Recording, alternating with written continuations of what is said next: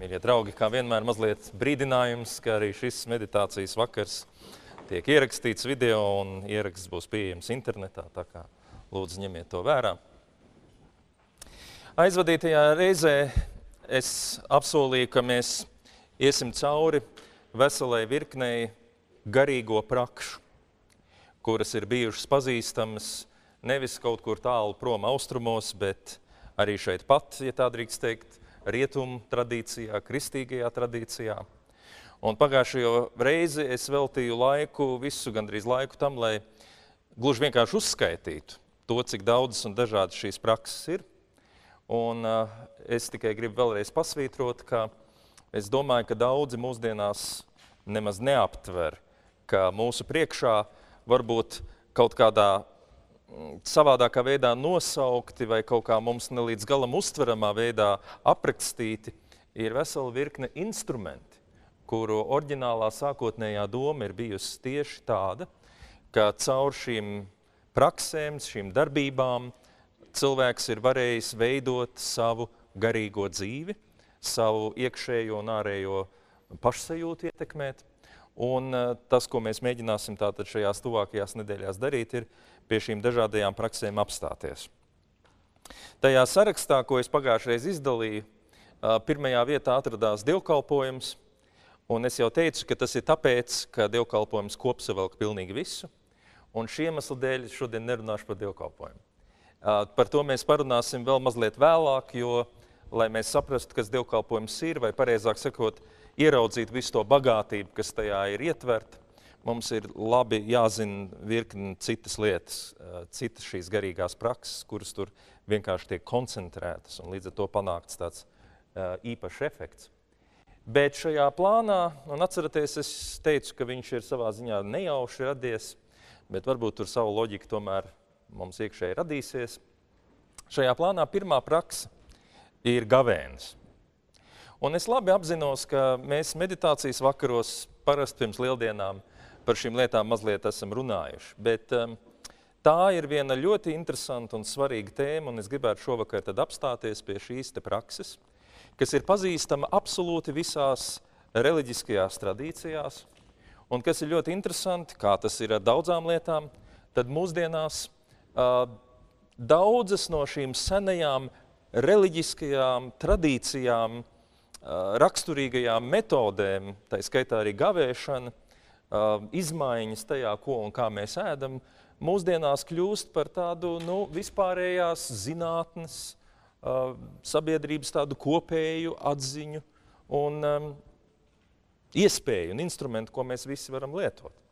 Uh, proti, mēs dzīvojam laikā, kurā pirmo reizi civilizācija ir nonākusi tādā stāvoklī, ka mūsu, vismaz šajā reģionā, es nesaku par pasauli kopumā, bet mūsu civilizācija šajā reģionā ir nonākusi tādā stāvoklī, ka pirmo reizi mūsu lielākais veselības drauds nav tas, ka mēs eh, varam nomirt badā, bet mūsu lielākais veselības drauds ir tieši tas, ka mēs varam pārēsties tiešā un pārnestā nozīmē, uzkrāt sevī nevajadzīgas krājumus, un kā jūs to zinat, tas ir atkal medicīnisks fakts, ka tas ir viens no galvenajiem riska faktoriem gandrīz uh, lielākajai daļai no hroniskajām slimībām, proti, ja cilvēkam ir pārāk lieli viņa dabiskie krājumi, ko viņš nesā sev līdzi.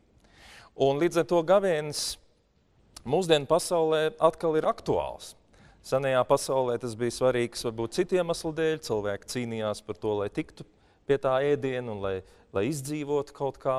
Viņi ļoti rūpīgi īstenībā, ja jūs palasat senās uh, maiturības grāmatas, tur gandrīz katrai namamātei vajadzēja uh, zināt ļoti daudz informācijas par to, kā tad ir pareizi jāēd, lai visi būtu pēduši, lai visiem būtu visas vajadzīgās barības vielas. Mēs šodien daudz ko uh, no tā vairs neņemam vērā, bet senais cilvēks bija ļoti norūpēts, lai viņš sagādātu visu savu nepieciešamo. Un savukārt mums tā tad ir mazliet cita situācija, ka mēs cīnāmies ar to, ka mums ir šis tas par daudz un pārāk viegli pieejams. Bet gavēnis manā apziņā vienmēr stāv kā pirmais instruments tāpēc, ka es ļoti labi zinu situācijas, kurā cilvēki ir kaut kādā ziņā tik ļoti, nu nezinu, panīkuši garīgā nozīmē, ka, ka viņiem nav vairs enerģijas, viņiem nav vairs motivācijas, nav vairs īsti gribas spēka, nav vairs īsti iespējas koncentrēties uz lietām. Ir iestājies tāds, mm, nu, kā lai to nosauc, tāds miglas pilns stāvoklis, kurā tā kā kaut ko vajadzētu darīt un labi nav, bet es īsti nezinu, ar ko sākt.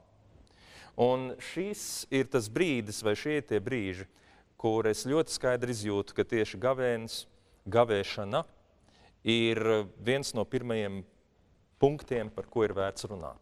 Ja jūs gribat uztaisīt tādu īstu restartu, ja tā drīkst teikt, um, savai pašsajūtai, tad šis neapšaubām ir viens no instrumentiem. Vēl pirms tam, kad jūs sāksiet tur aktīvi vingrot un sportot. Kāpēc? Tāpēc, ka, lai tu varētu aktīvi vingrot un sportot, tev ir jābūt kaut kādam jau minimālam motivācijas un spēka daudzumam. Un bieži vien gavēnis šeit ir interesantā kārtā labs instruments. Kā jau teicu, visās reliģiskajās tradīcijās pazīstams. Bet uh, arī Bībelē, arī kristietībā ļoti izcelts. Un īstenībā, ja jūs lasat Bībeles lapas puses, jūs atradīsiet ļoti bieži atsaukšanos uz to, ka gavēnis tiek praktizēts vienā vai otrā formā.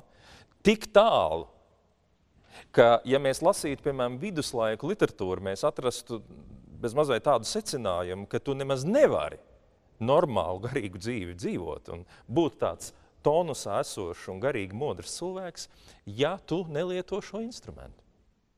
Tik absolūti universāls viņš ir.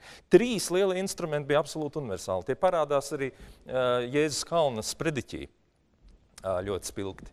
Uh, gavēnis, otra lieta, protams, lūkšana, Un trešā lieta bija tas, kas tika saukts par mīlestības darbiem. Nu, proti, ka tu iesaisties procesos. Šīs trīs lietas Bez tām nav iedomājama uh, garīga dzīve, vismaz līdz nesenam laikam.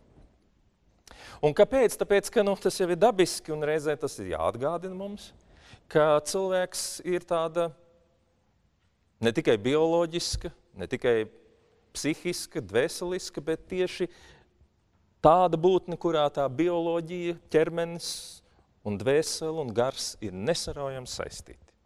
Nesaraujami saistīti.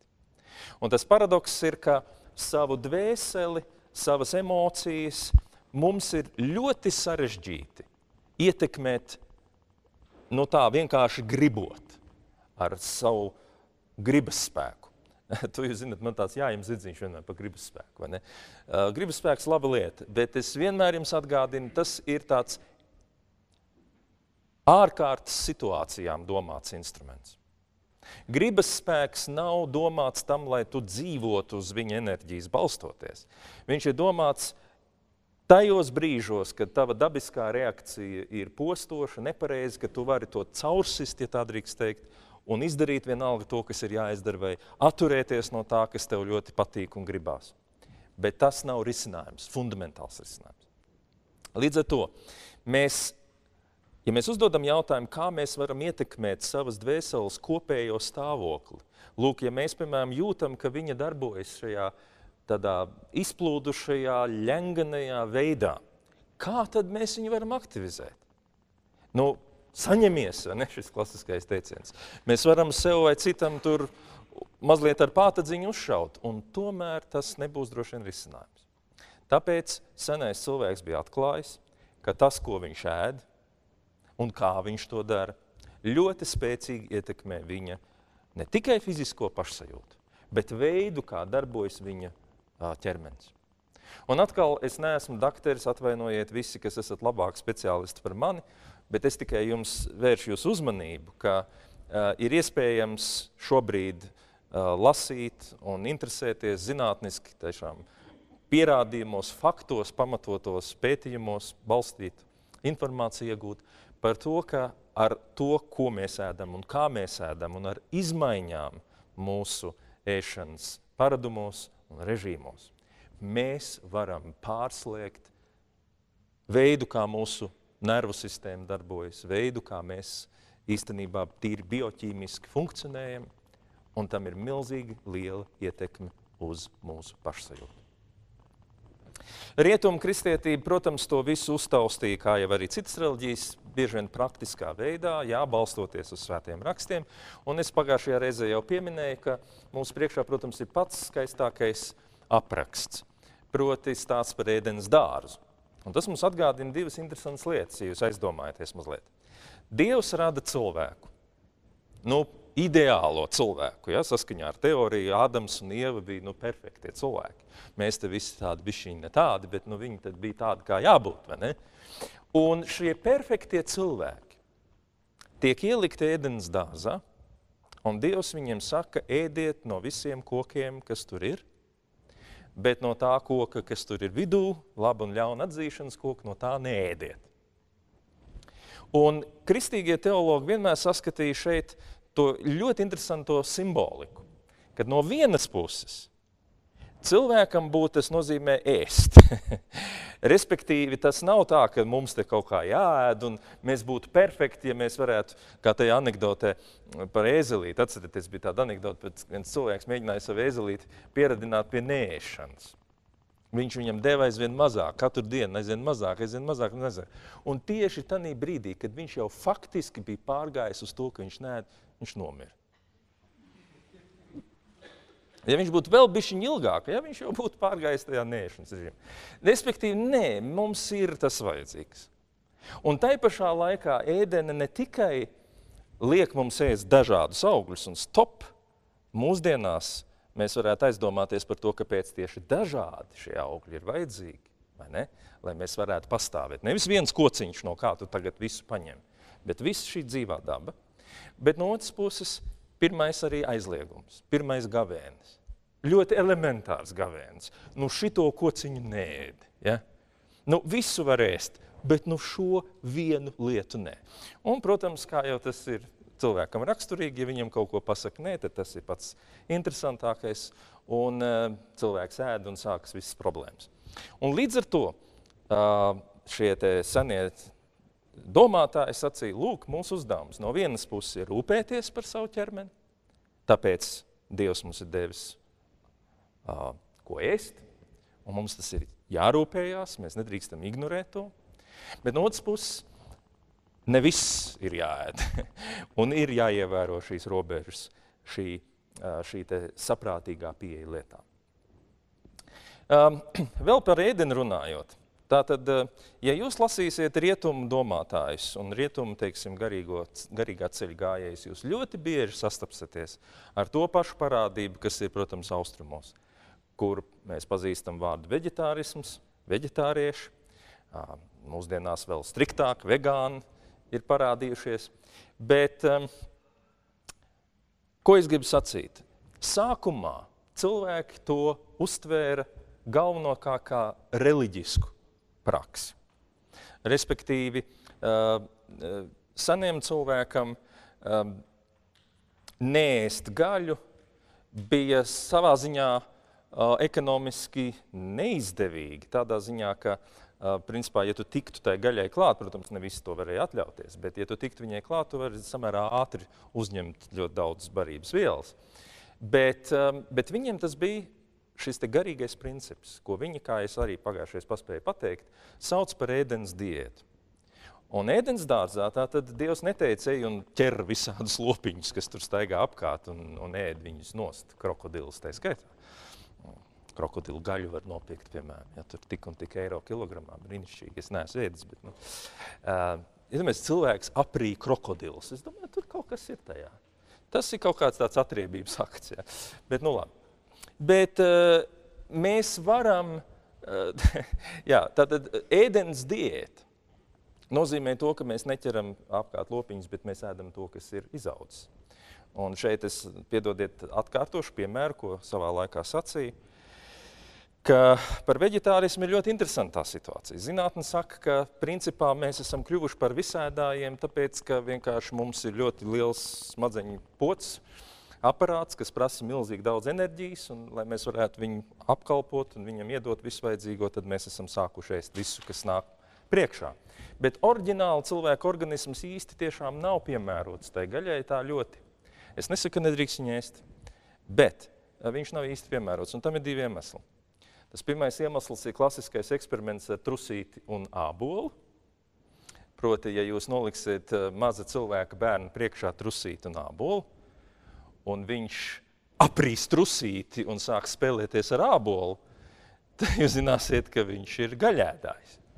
Bet, ja viņš pamatā izvēlēsies ābolu un trusīt, viņš tā kā mēģinās glaudīt, nevis viņam iekals saskries mutē, ka varētu viņu nokost un apēst, tad tas liecina, ka kaut kur instinktīvā līmenī mēs, eh, nav tā, ka mēs braucam ar mašīnu un tur ir govis un, un mēs vienkārši jūtam, nē, ir jāapstājās.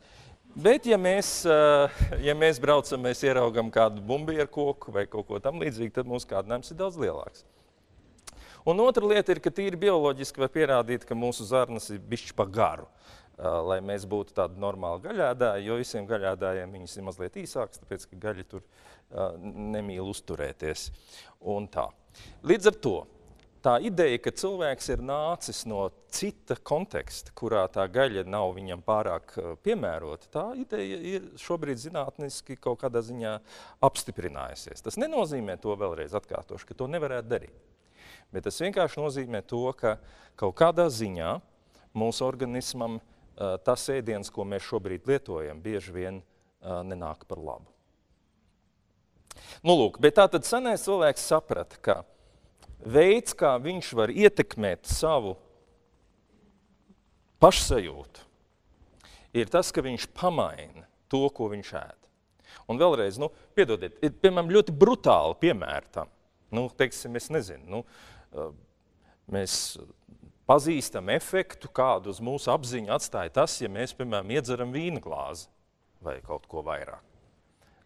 Mēs ielietojam vielu, fizisku vielu, sarūgušu sulu. Bet tas efekts ir, nu, viņš nav tikai fizisks. Viņš, ir, viņš izmaina arī mūsu dvēseles kaut kādus procesus. Ne? Mēs neesam vairs fokusēti tā, kā varbūt agrāk. Varbūt kāds ir, es nezinu. Bet principā es varu garantēt, ka pie noteikta daudzuma tur tas fokus pazūd. Ja? Bet, bet vienalga, kā tas arī nebūtu. Vai, piemēram, cits piemērs. Mēs visi zinām, kā tas ir, kad tu esi paēdis labas pusdienas. Nu, tā, tā, labas pusdienas ielicis virsū ar visu kūciņu. Un, tā. un tad tu vienkārši mēģini klausīties lekciju. Un jebkurš pasniedzējs zina, ka lekcija pēc pusdienām ir vienkārši kritiskais brīdis, ja, kurā uh, ir iespējams pazaudēt visus savus klausītājus, jo viņi vienkārši aizmieg. Un kāpēc? Tāpēc, ka mūsu organisms ir aizņemts ar pārtiks pārstrādi, un viņā slēdzās iekšā vesela virkne sistēmu, kuras uh, īstenībā, mīļie draugi, patērē milzīgu enerģiju, lai tiktu galā ar to, ko mēs esam aprījuši. Krievu valodā ir interesants jēdziens pišķevarieņi, vai ne? Tad, tad, tad ēdienu vārīšana. Un kādreiz mēs tur dzirdam, kā viņš tur burbuļo un tā viņš tur vārās. Tas ir milzīgs process, jo viņš iedomājas, ir jāsašķeļ līdz, līdz kaut kādiem elementāriem klucīšiem, lai no LEGO varētu uzbūvēt to, kas mums organismam ir vajadzīgs. Un tas ir milzīgs enerģijas patēriņš, kas nozīmē interesantu lietu, ka dažkārt var būt, samazinot to apjomu un daudzumu, ko mēs liekam iekšā, mēs kopumā to enerģiju nemaz tik ļoti nezaudējam, varbūt pat īstenībā iegūstam. Jo, kā jau teicu, um, sagramot visu to, ko tu esi apēdis un, un aprīsi tīpaši, jo rietumos jau mēs mūsdienās, kuram tad ir laiks sakošļāt, piemēram, barību vai vēl kaut kas tāds, ir pilnīgi tāds ekskluzīva lieta, vai ne? Mēs ātri, ātri to visu dabujam lejā, un tad tur tas iekšējais organisms mēģina kaut ko darīt ar to visu. Bet jebkurā gadījumā Tad, kad mēs uh, samazinām šo iekšā uzņemtā daudzumu, mēs īstenībā panākam nevis novājinātu, novājinošu efektu, bet kaut kādā ziņā pat vismaz pirmajā brīdī mēs varam no tā dabūt pozitīvs efekts.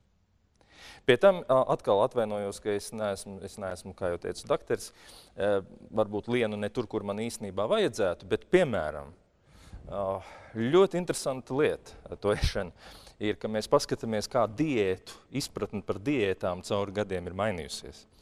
Un, um, tad, kad cilvēki sāk palikt resni, nu tā kopumā es atvainojos, nu tādi apaļīgi, uh, tad viņi sāk saprast, nu, ka tauki uzkrājas. Nu, tad loģiski, ne, tas ir ļoti raksturīgi cilvēkam. Uh, nu, ja tauku uzkrājas, tad ir tauka pa daudz. Un tad vienā brīdī bija tāda doma, ka, sakot, visi treknie ēdieni, visi tauki ir jāņem nost, tas viss mums uzkrājās vai ne šajos liekajos taukos, ēdīsim sulas, dzersim, ēdīsim kaut kādus tur augļus svaigus un tā tālāk. Tā, tā. Un cilvēki tika no taukiem vaļā, bet izrādījās, ka viņi vienalga paliek apaļi un vēl ātrāk paliek apaļi. Un, piemēram, izrādās, ka tikai mūsdienās mēs to esam tā pavisam skaidri sapratuši, ka, ka īstenībā tad, kad cilvēks uh, savā pārtīkā apēd bišķiņu pa daudz taukaina, tad lielākoties tas viss viņam vienkārši izskrien cauri, jo organisms ir spējīgs taukus neuzņemt.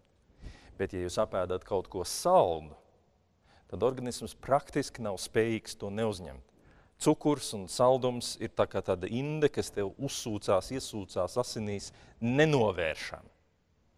Un tad, kad viņš ir iesūcies iekšā, organismā paliek tikai viens paņēmiens, kā viņš var to sākt regulēt. Proti, tad, kad tās asins ir pilnas ar to saldumu, viņš izdala insulīnu un rezultātā mēģina tur kaut ko labot.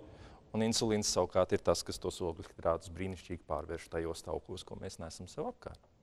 Tātad, respektīvi, tad nāca periods, kurā cilvēki teica, ogļhidrāti nav pareizi. Tur taukus drīkst teikt, ogļhidrātus nē. Un tad viss ēda jēlu gaļu gandrīz. nu tā. Un tad beigās saprata, ka to arī nevar ēst. Un tāpēc tas ģenerālais pieteikums šeit ir viens, ka cilvēkam ir vajadzīga dažāda barība. Viņam ir vajadzīgs parūpēties par savu organismu, bet tai pašā laikā uh, tas ir viens instruments, vēlreiz atkārtošu, ar ko mēs varam sevi ietekmēt. Un, ja jūs gribat reliģisks notis, tad, eh, tad atcerieties, ka piemēram arī Jēzus pirms viņš sāka savu publisko kalpošanu, viņš 40 dienas gavē. Un tā ir standarta procedūra. Proti, pirms tu dari kaut ko svarīgu un nozīmīgu, tev ir svarīgi būt pamodinātam, vērīgam, un tur noder gavēns. Tātad šajā rietumu izpratnē gavēņa galvenais uzdevums ir kā reize šī cīņa ar mūsu miegainību, cīņa ar neskaidru apziņu. Un šī apziņa tiek noskaidrota caur to, ka mēs tātad veicam šīs izmaiņas tajā, kādā veidā mēs pret savu ēdienu un pārtiku attiecamies. Gavēņa centrā bija atturība no tā, ko senais cilvēks sauc par gardumiem.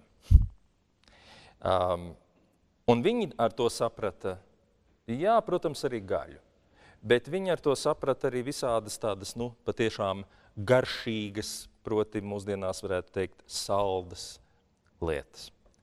Un tas, ko viņi sacīja, ja tu gribi noskaidrot savu apziņu, ja tu gribi kāpināt savu uztveri, tev ir jāpadomā, kādā veidā atslogot savu organismu no tā, kas viņu pārmērīgi, kā lai to pasaka, nodarbina ar, ar tīri fizisku ēdienu apstrādi un to, kas tevī notiek. Un tur ir divas lietas, kas to dara. Tā viena lieta ir šī gaļa, un otra lieta ir šī ogļhidrāta. Gaļa tāpēc, ka tas ir grūts, pārstrādes, eh, pārstrādes priekšmets, ja tā drīkst teikt, priekš mūsu sistēmas. Tāpēc es pieminēju to stāstu par, par trusīšiem un vispārējo, jo tas nav īsti mums piemērots. Un otrs ir šis saldums, kurš mūsu organismam uzliek milzīgu, milzīgu stresu. Tātad stāsts ir par to, ka cilvēki izmantoja uh, tīri empīriski atklātu pieredzi, ka vēlreiz, ievērojot zināmu atturību, tu paradoxālā kārtā nevis paliec švakāks un neko vairs nevari, bet tu īstenībā kļūsti ar labāku un skaidrāku uztveri apveltīts. Ja?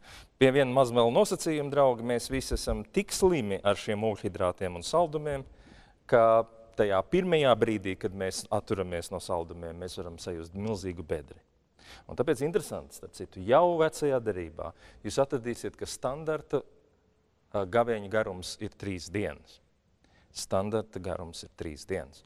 Respektīvi, ja tu zini, ka tev priekšā ir kaut kāds svarīgs notikums, vai ja tu gribi, piemēram, kaut kā nezinu, īpaši sajust Dievu vadību un lūgt par to, tad tu iepriekš šīs trīs dienas gavē. Tu izēji cauri zināmai bedrei, bet pēc tam tu nonāc vienā citā, daudz skaidrākā, daudz um, precīzākā apziņas stāvoklī. Uh, jā, es netieku uz tā, ko es vēl gribu pastāstīt tieši par praktiskām lietām, bet es gribu vēl vienu lietu jums pastāstīt, draugi. Lūdzu, ņemiet vērā to, ka šajā ziņā, šajā jautājumā par to, ko mums ēst, es atvainojos, ka es lienu iekšā tur, kur vajag un kur nevajag. Uh, mana galvenā, mans galvenais ieteikums - esiet ļoti piesardzīgi. Īstenībā normālam cilvēkam tas svarīgākais ir, ka mēs ēdam dažādu pārtiku. Vislabākā diēta ir tā, kas ir dažāda.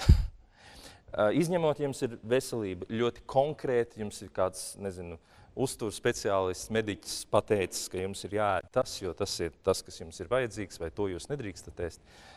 Izņemot to gadījumu, visos pārējos gadījumos tas galvenais padoms ēst vajag visu kaut ko, bet nepārāk daudz. Nepārāk daudz. Ļoti bieži mēs iedzīvojamies tajā apaļīgumā tieši tāpēc, ka mūsu organismam trūkst zināmas vielas, Un izmisīgi mēģinām šīs vielas dabūt, viņš mūs spiež un mudina ēst aizvien vairāk, nu, lai mēs dabūtu to, kas mums ir vajadzīgs, bet pa ceļam mēs apēdam tik daudz lieka. Un vēl viena lieta, es tikai jums atgādināšu. Man tas vienmēr ir bijis šoks. Bet vai jūs, vai jūs zinat, kurā gadā tika atklāta tāda lieta kā C vitamīns?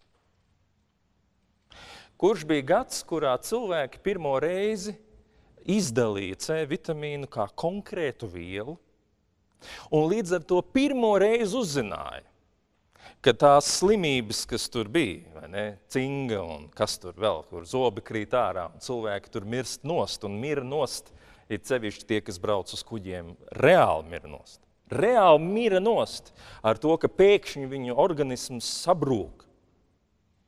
Tas bija 1900.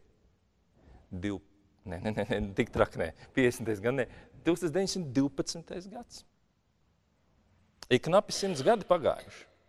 Un šobrīd mēs zinām un elementāri spējam kaut kādas lietas risināt. Ā, tev C vitamīna nav, nu klau, nu bāc, nu tu taču vari absolūti elementāri to trūkumu novērst. Bet kāpēc man šis piemērs liekas svarīgs? Divi iemesli dēļ. Pirmais ir tas, ka cilvēki reāli nedabūja šo C vitamīnu, lai gan it kā ēda ļoti normāli. Labi, labi, tie, kas dzīvoja šeit, varbūt uz zemes, kā teikt, vēl tā, bet noteiktās vietās, noteiktās vidēs. Viņi slimoja ar slimību, kuras cēlonis bija tas, ka viņi vienkārši nedabū vienu no šīm vitālajām aminoskābēm. Tieši tāpat kā rahīts bija normāla slimība līdz brīdim, kamēr cilvēks saprata, ar ko tas ir saistīts. Un tas, mīļie draugi, man ir atgādinājums, ka eventuāli ir lietas, kuras mēs arī šodien nezinām. Varbūt doktori man nepiekritīs, varbūt piekritīs. Bet man ir tādas aizdomas, ka dažas labas no ļoti neiedzīgām slimībām, kas mums apkārt klīst, ir zināmā mērā vismaz saistītas ar to, ka lūk, mēs esam spējīgi neuzņemt to, kas mums ir vajadzīgs. Un, ja mēs neuzņemam to, kas mums ir vajadzīgs, attiecīgi mūsu organisms pamatīgi cieš. Ja?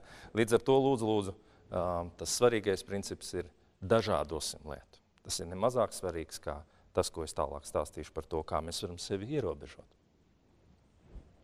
Bet nu tā tad vēlreiz. Gavēņa mērķis garīgajā nozīmē ir aktivizēt savus garīgos spēkus. Atcerieties manu piemēru parasto par lauvām. Kad tā kā lauva ir paēdis, tad antilopes staigā viņam gar degunu, viņš mierīgi guļ, viņš ir gauss un mierīgs un tāds bišķiņ tāds kaķītis. Bet tad, kad viņam sāk gribēties ēst, viņš nevis paliek švaks, un nevis viņš mieg ciet, bet taisn otrādi, kaķītis sāk kļūst aktīvs, viņš aktivizējas, viņš gatavojas medībām. Tas ir kā mūsu organisms darbojas. Ja viņš nedabū uzreiz komfortu, viņš aktivizējas. Un visa tā māksla, mīļie draugi, ir nepārspīlēt ar šo lietu. Jo tiklīdz tu, protams, pārspīlē, tā tu nodari postu, Un tad tu tiešām paliec švaks. Bet, ja tu to dari prātīgi un saprātīgi, tad attiecīgi tu piedzīvo šo labo, uh, labo efektu. Ja? Tātad gavēņa mērķis nav ķermeņa mocīšana, bet tiešām šī apziņas skaidrība, modrība.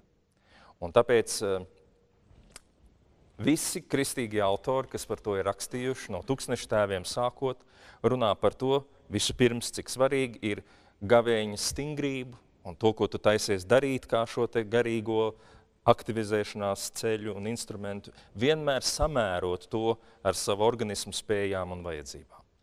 Un to es ļoti liktu jums pie sirds, tāpēc ka mēs šeit dzīvojam Latvijā, un mēs, nezinu, jūs varbūt tā nedarat, paldies Dievam, bet es esmu fiziski saskāries ar situācijām, kur cilvēki nodara savai veselībai fundamentālu postu, ar to, ka viņi paņem kaut kādas idejas, kuras viņi salasījušies, sazina, kur, un mēģina to realizēt.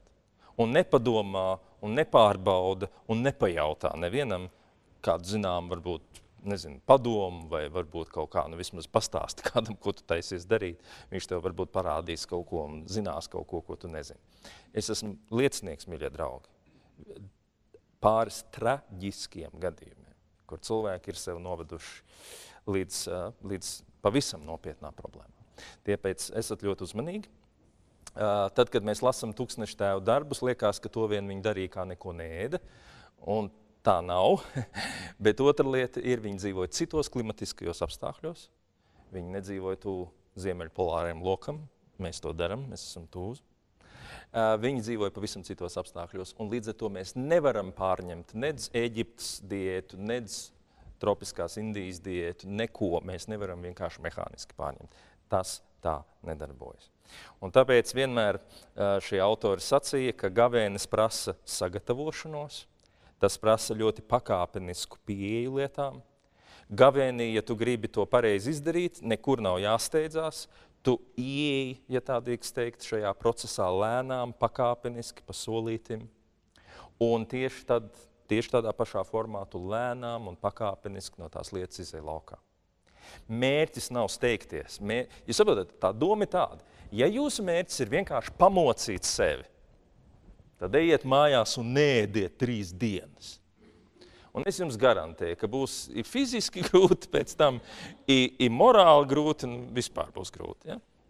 Bet ja jūsu mērķis ir praktizēt praksi, kuras mērķis ir aktivizēt, dot spēku visam pārējiem, tā izskaitā lūkšanām, tā izskaitā pareiziem lēmumiem, tā izskaitā grūtu situāciju risināšanām.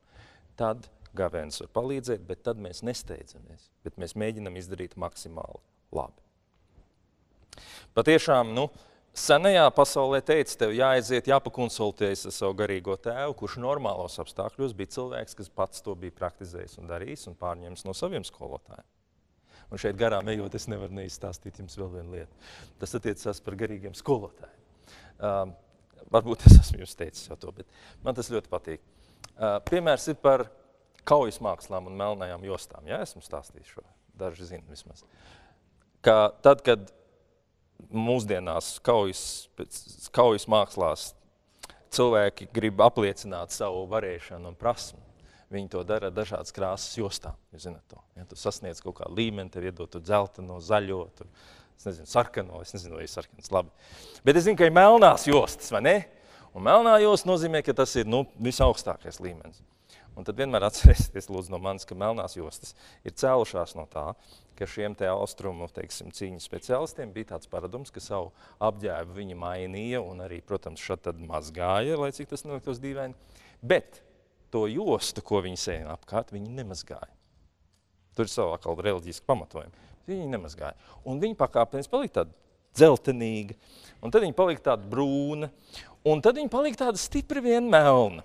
Un ja tu redzēji, ka kādam tā josta ir tāda tumša, tad tu zināji, ka labāk neiet pārāk tā neuzmanīgi klāt, tāpēc, ka tu zini, ka tas cilvēks ir ilgu laiku praktizējis šo lietu. Ja? Neviens tur nav viņu tur iecēlis, ielievis, netīru jostiņu apkārt. Ja? Tas ir tas, ka vienkārši ir bijusi ilgstoša praksa.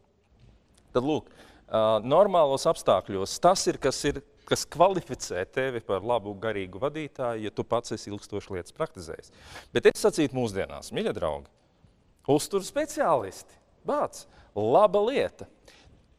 Pretstatā tas, ka tu žurnālā izlasi jaunāko ideju, kā var kaut ko darīt savādāk ka tu aizēji pie kāda, kas mazliet par to ir, ir, ir mācījies. Un, ticat man, tur tie padomi būs daudz sakarīgāki, daudz līdzsvarotāki, daudz palīdzošāki. Un, nebūdams ārsts, gandrīz nokodīšu tu līdz savu mēli, bet tomēr pateikšu vienu lietu, ka, piemēram, mūsdienās tāda ļoti nopietna slimība kā diabetes un tāda ļoti nopietna slimība kā epilepsija ar visnotaļ labiem panākumiem. Tiek nu, ne jau no ārstēta, bet apkarota un dažkārt šķiet pat arī tiešām izārstēta. Ja tas ir runa par, par kaut kādām varbūt vieglākām formām, ar diētas palīdzību. Tā diēta ir speciāla, specifiska, bet viņi darbojas. Viņi ir grūti varbūt tāpēc, ka viņi prasa ļoti vērīgu, uzmanīgu pieeju, bet viņa darbojas. Ja? Un tāpēc senajā pasaulē, ja piemēram cilvēkam bija kāds ļaunais gars viņu pārņēmis un viņam tur kaut kas nedarbojās, tad viens no padomiem bija gavēt. Jo atceraties to evaņģēlī epizodi, kur Jēzus sacīja, šī suga neiziet savādāk kā caur lūkšanu un gavēšanu. Tā ir klasiska metode. Ja? Tāpēc pakonsultēties, un ja mums ir kādas slimības vai veselības problēmas, tad, protams, esiet ļoti uzmanīgi ar to, ko jūs darat. Un interesanti, ka kristieši vienmēr savos tekstos ir sacījuši, ja, piemēram, ir runa par maziem bērniem vai, vai sievietēm, kas gaida bērnus, vai veciem cilvēkiem, vai cilvēkiem, kas strādā smagu fizisku darbu. Tur momentā ir vajadzīgas korekcijas iepratī tam, ko es saku. Es nevaru strādāt fizisku darbu no rīta līdz vakaram un būt tas ezelītis, kurš ēd, teiksim, tur vienu kaut kādu sausiņu. Um, tas vienkārši nedarbojas. Ja? Par to ir jādomā. Bet kristieši tā tad uh, izšķīra vairākas gavēņa pakāpes. Tā pirmā pakāpe ir, ka mēs tiešām tiekam vaļā no gaļas un tādiem uh, luksus ēdieniem. Uh, lietojam zīves, piemēram, bet ne šos te um, pieminētos augstākās raudzes ēdienus. Tad bija nākamā pakāpe, ka tu lieto karstu ēdienu, kurš ir ar eļļu, kurš ir teiksim, nu, tā, labi sagatavots, bet tur nav ne gaļas, ne, ne olu, ne zivju, nekā tur nav. Tur ir tikai dabas, teiksim, respektīvi augu produkti. Tad bija ēdiens, kurš ir karsts, bet bez šī pavalga saucamā, bez tā, ka tu, teiksim, tur liec to eļļu klāt. Tad bija saucamais sausēdiens, pie kura piederēja uh, uh, kristīgajā tradīcijā, uh, piederēja svaigu augļu un dārzeņu ēšana, maize, svaiga augļu un dārzeņu un ūdens. Tā bija uh, ceturtā lielākā gavēšanas forma. Un tāpēc uh, man jāsaka, ka dažkārt cilvēki, kur ar to uh, svaigā, svaigo lietu ēšanu mazliet pārspīlē, viņi nesaprot, ka viņi reāli gavē ļoti striktā formā. Kas var līdz zināmai robežai būt ļoti labi, un pēc šīs robežas var radīt pilnīgi negaidītas pēkšņas veselības komplikācijas. Un tikai pēdējā piektā pakāpe bija totāls, totāla atturēšanās no ēdiena, un ar gavēni gandrīz vienmēr saprata nevis to, ka tu, teiksim, tur 20 dienas pēc kārtas, vai 4 nedēļas, vai 40 dienas pēc kārtas. Nē, bet vissenākā tradīcija ir saglabājusies, arī kristiešiem pazīstamā tradīcija ir saglabājusies pie mūsu kaimiņu reliģijas vai, vai, vai satelīta reliģijas, eh, proti islamu kurš ilgāk tika uzskatīts par kristietības sektu, starp citu, bet no tas tā. Uh, un, uh, un islamā ir ramadāns. Un, jūs zināt, ramadānā mums kristiešiem patīk smieties par to, bet īstenībā tur ir sava gudrība. Ramadānā cilvēki ēd, bet viņi ēd tikai pēc saulrieta. Normālos apstākļos vienreiz dienā. Mēs zinām, nu, ka tas ir gavēni, ne baigi forši. Ja? 40 dienas gavē, bet reāli, ja tu negavē saulīt, noliet uzreiz tirgus pilns, visi pēk, visi ēd, vai ne forši. Bet īstenībā tā ir dziļa gudrība. Tikai rietumu cilvēki to apgriezuši ir otrādi. Jūs varat izlasīt ļoti interesantus pētījumus par to, ka, piemēram, ja tu uh, paēdi, piemēram, piecos vakarā pēdējo reizi un neēdi vakarā, bet ēd tikai no rīta brokastis, tur nezinu, tā, kad tu piecelies. Tam ir milzīgi labi, pozitīvi efekti. Tikai ramadāns bija otrādi. Ne? Ramadāns nozīmē, ka tu, kā lai pasaka, ka neēd no rīta, neēd tikai vakarā šo vienu reizi, bet tam ir ļoti interesants moments, jo izrādās, ka organisms ir spējīgs pielāgoties šādam režīmam, stop, neuzreiz, tā jūs dabūsiet, nezinu, problēmas bet uh, pakāpeniski viņš var pielāgoties šādam režīmam. Un interesantā kārtā vēlreiz atkārtošu, tāda zināma um, restrikcija organismam nāk par labu. Saskaņā ar kristīgo tradīciju tātad vismaz divreiz gadā bija jāīsteno garie gavēņi. Tas bija 40 dienas pirms lieldienām, un tieši tāpat 40 dienas pirms Ziemassvētkiem. Tad, kad notika kalendārā reforma, Ziemassvētkus atbīdīja, respektīvi kalendāru nobīdīja pa divām nedēļām, lai tur saskaņotu, vai ne, sauli ar, ar zemi. Um, tad, kad bija kalendārā reforma, tagad mums ir, kas mums ir palicis pāri? Mums ir palikušas pāri četras adventa nedēļas. Ja, tāpēc, ka tur vienkārši tā nobīda lielā. Bet principā tās bija 40 dienas. Un tad divreiz gadā cilvēks ir aicināts iziet šim garākam posmam cauri. Ne tā, ka tu visu mūžu nepārtraukti to dari, bet ir šie garākie periodi.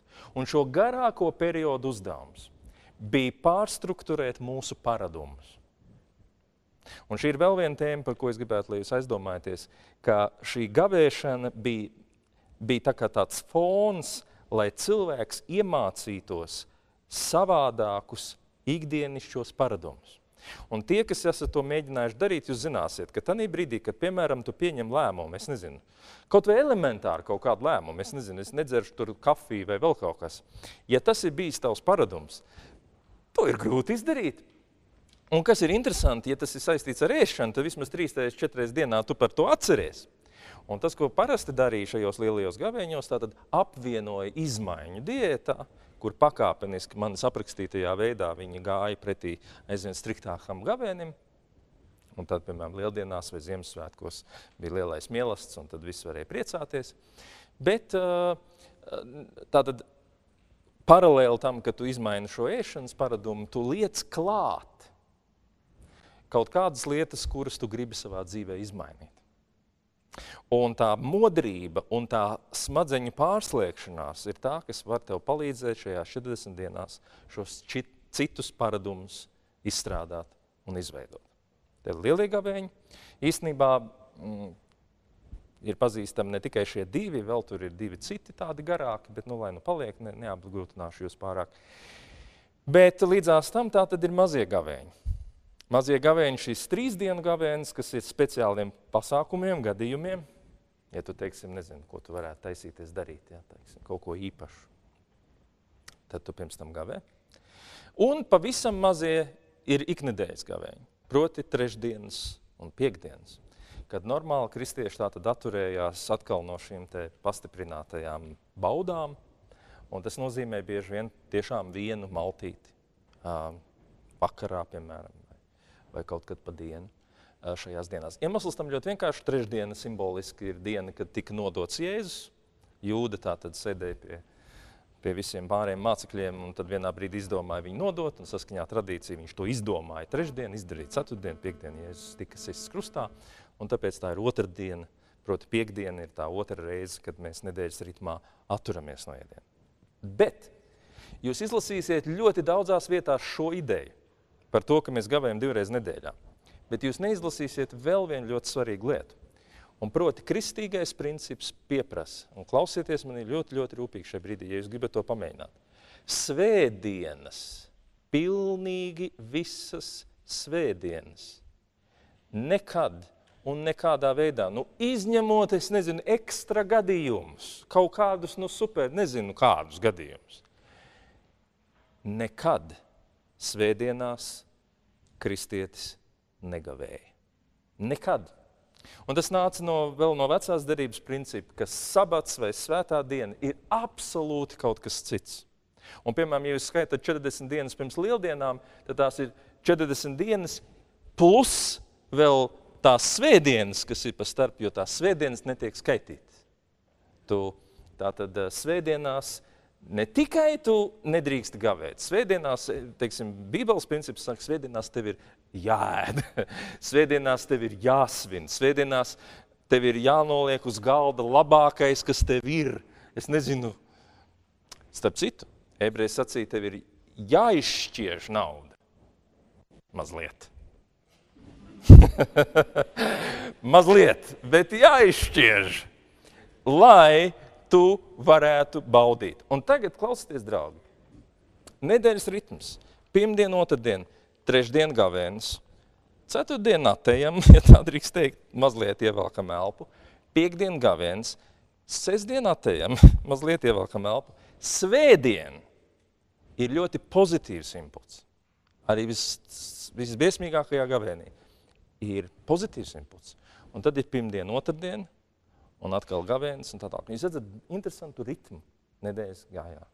Un tā svētdiena bija tas drošības ventils, lai tu nenodarītu sev pāri. Ja? Pat ja tu tur kaut ko pārspīlē, un tā ir klasika, tad tomēr, ja tu vismaz reizes nedēļā kārtīgi piedies, tad visticamāk nomirtu un nenomirs, un tas ir tāds, tāds mierinājums. Bet uh, ritms. Un šis ritms cilvēka organismam palīdz darboties. Mūsu organisms prasa tonus. Mēs par to runāsim arī tad, kad runāsim par askēzi kā tādu. Tāpēc šīs abas puses kristiešiem tātad vienmēr bija kopā. Plus vēl tam, ko es vēl varētu jums pastāstīt, bet nav man laika daudz.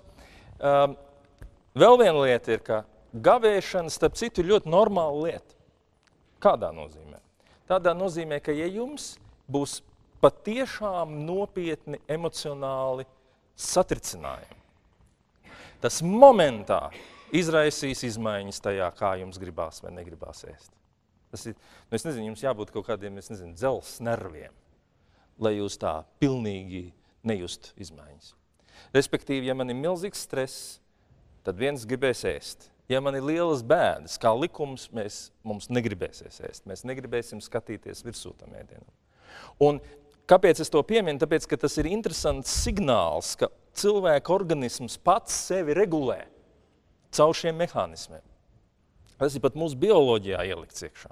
Ka, ka tādā brīdī, kad organisms jūt, ka ir vajadzīgs kaut kāds stiprinājums, lai izturētu to situāciju, kam tu ej cauri, viņš momentā aiztaisa lietas ciet.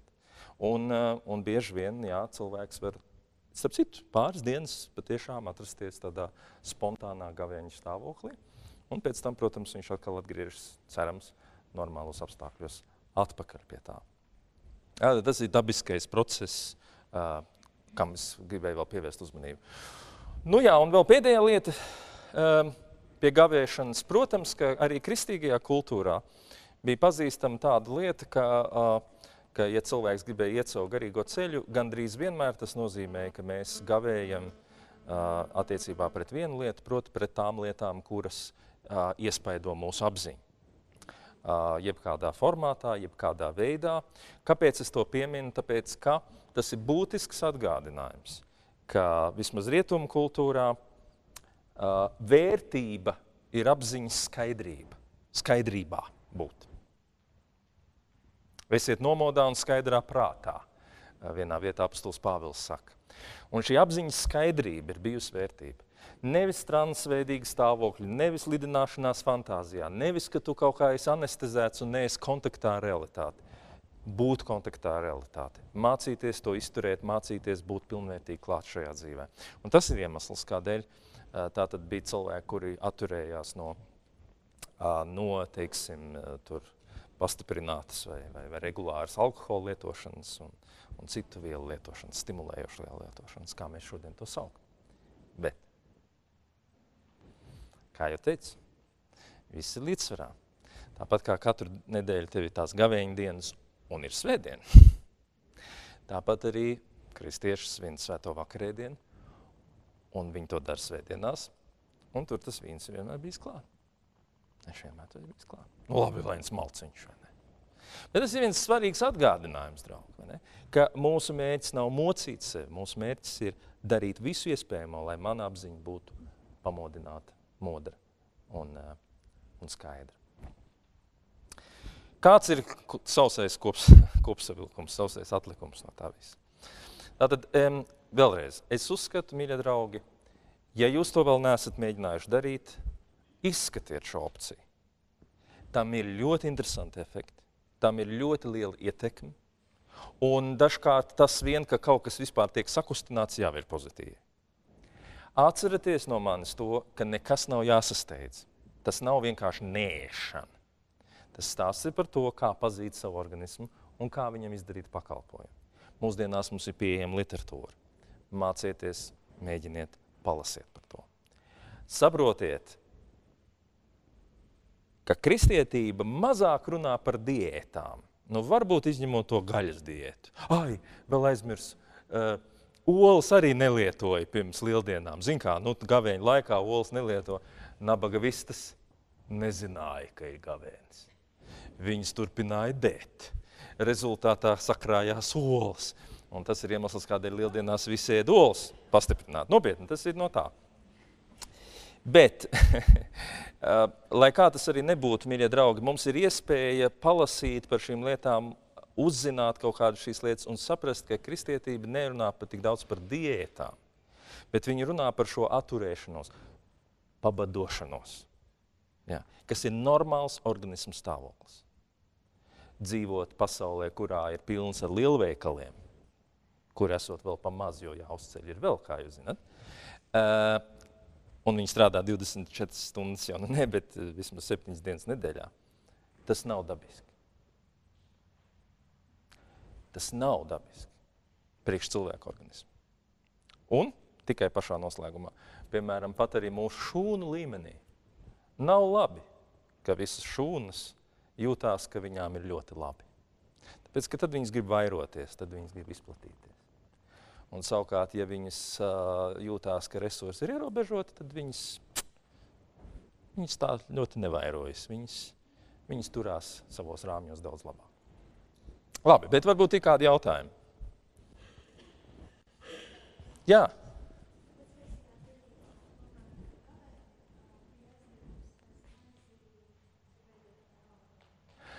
Jā, kāpēc, tika, kāpēc bija šis aizliegums ēst raudzētu maizi? vecajā derībā. Es domāju, mīļie draugi, ka daudzas no šīm vecās derības tur ir diētas. Daudzas no šīm diētāriem noteikumiem, košer, košer barība viss, viņa ir saistīta ar tās vides, tās arī tautu grupas praktiskiem veselības novērojumiem. Praktiskiem veselības novērojumiem. Un es domāju, ka, protams, ja es gribētu, es varētu jums izskaidrot to ļoti simboliski. Rauks Bībeles izpratnē ir bijis lepnības, iedomības un tukšības simbols. Tāpēc, kad iedomājies, tu ieliec mīklā augu, tev sākumā maza mīkliņa apakšā. Tu ieliec augu, aiztais cieti, aiziet, pasteigā, atnāc apakaļ. Pilns katls. Nu, trauks vēl. Oh, oh, oh. Nekā, tur ir gaiss vienkārši. Tās rauga baktērijas ir to cukuru apēdušas, uztaisījušas savus purkšķīšus, un rezultātā mums ir super. Mums ir vienkārši tagad uh, brīnišķīgs, ko ēst. Uh, ļoti labi. Bet tas ir tukšs, un tas var saplakt ļoti ātri. Jā, jā, un tad viņi teica, nu, ka tā atturēšanās no šī rauga ir atturēšanās no šīs uzpūtības. Līdz ar to tas ir tāds pazemības simbols. Bet es, kāpēc es pieminēju par to vidi? Tāpēc, ka es domāju, ka tur ir ļoti daudz lietas arī saistītas ar alerģiju, ļoti daudz lietas saistītas ar tam līdzīgām lietām. Un principā, jūs uzmanīgi pavērosiet, kāda ir tā diēta, kas tiek ievērota tajos gaveņu laikos, nu, tad viņi ir maksimāli nealerģiski. Ja? Nu, izņemot, izņemot, protams, nu, jā, tur parasti tā maize bija, Tagad mūsdienās, kad mēs esam izglītoti par to, ka izrādās, ka cilvēkam nevienmēr ir piemērota glutēna ēšana, tas ir interesants fakts. Ja. Bet jā, tas bija saistīts droši vien arī ar medicīniskiem. Tieši tāpat kā cūciņa nēšana. Cūciņa nēšana uh, bija saistīta ar to, ka tās cūciņas bija bišķi citas. Jo, redziet, mums jau ir tās tropiskās cūkas, jūs zināt. Viņas ir bez spalvas, nu, maz viņam tās spalvas ir. Nu, tā kā tā ir interesanti, nu, labi, tas ir cits stāsts. Piedošana.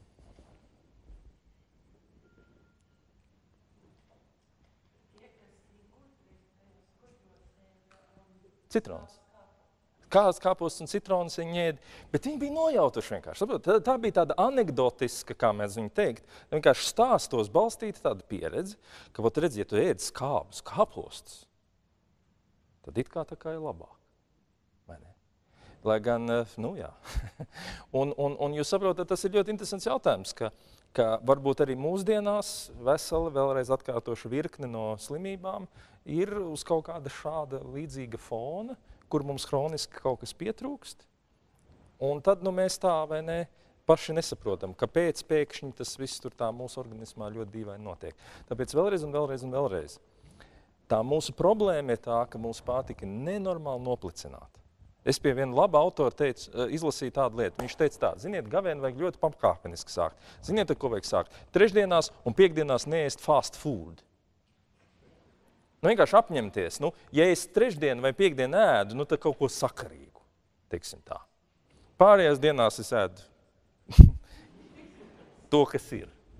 Bet, eh, bet nu tā. Un iemesls tam ir ļoti vienkārši. Iedomājieties, es esmu nesen nopirku tomātus. Tomātiem tāds, nu labi, tur bija tāda lapiņa klāta. Un tajā, tajā lapiņā bija rakstīts, ka šie ir ļoti labi tomāti. Jo viņi tā tad ir audzēti no stikla vatē, bet viņi ir audzēti ar veseliem 15 dažādiem mikroelementiem, kas tur pa tām trubiņām tiek laisti. Un izaug ļoti labi tomāti, reāli, smuki, forši tomāti. Ja kāda no tām 15 mikrovielām tur nebūtu, viņi neizskatītos labi. Ne jau viņš tur ir ielicis, viņas vienkārši skaita pēc. Viņš viņu ielicis, tāpēc, lai tas tomāts tur daudz maz izskatītos. Bet tā problēma ir tā, ka man jau tad vajag stipri vairāk kā 15. Un normālos apstākļos tajā zemītē tas augt, un tā zemīte arī ir gadu tūkstošiem ilgi, tur ir audzēts, audzēts, audzēts, audzēts, un visas tās vielas, nu ko tad viņas, viņas ir? Un līdz ar to mēs esam aizvien knapāki. Tajā, ka vienkārši tu ejies un apēdīs kaut ko, un tu dabūsi mendeļēju tabulu sevī. Nē. Un tieši tāpat uh, ir daudz citas lietas. Un tagad iedomājieties, ka ir kaut kāds elements, kurš iztrūkst. Vai neesat dzirdējuši, ka cilvēkiem trūks dzels? Pff, vai ne? Trūks dzels. Nu, jāiet sliedas, nu nē. Bet, sakot, kaut kā tas jārisina, ja? bet mēs pat nezinām, ka mums viņš trūkst. Bet ir kaut kādas sekas. Tieši tāpat var trūkt arī daudz kas cits. Tāpēc lūdzu, lūdzu uzmanamies no tā, ka esam saudzīgi pret savu organismu. Ai, pulkstens sit. Šis skaudrīgais laiks. Labi, mēs meditēsim.